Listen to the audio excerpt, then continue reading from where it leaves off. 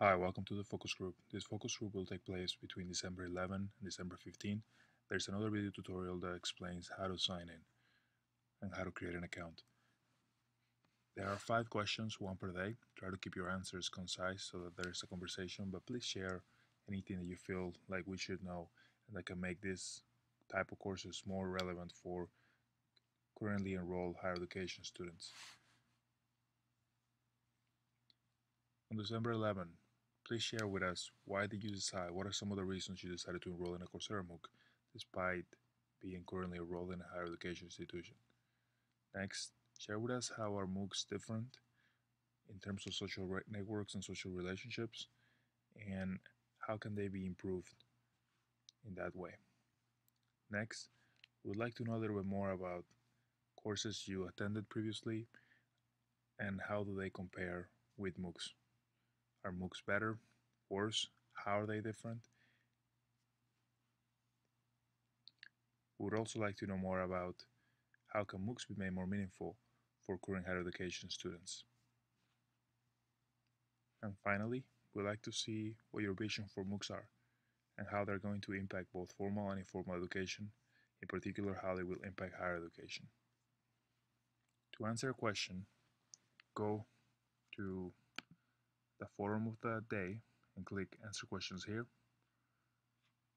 As I mentioned, keep your answers between 100 and 200 words, but try to go back three times a day and comment on other people's responses. To comment, hit reply, type your message. You can use bullet points, for example, or you can even add HTML code if you want to. This WYSIWYG editor is pretty capable of allowing you to add whatever you want to share, including attachments. It's a threaded discussion forum, which means that to reply to the question at the top, hit reply to that question, and if you want to comment on a person's comment, hit reply to their comment. It will be indented to help others know who is that response towards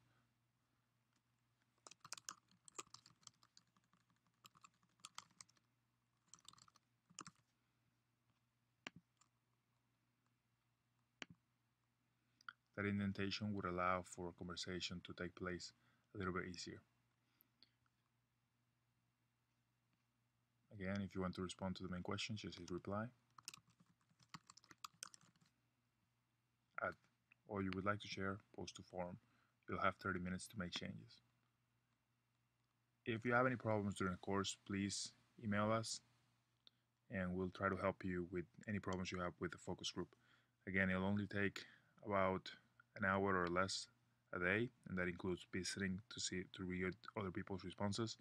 And we hope you find the conversation interesting. Thank you again for participating. See you. We look forward to reading your comments. Thank you.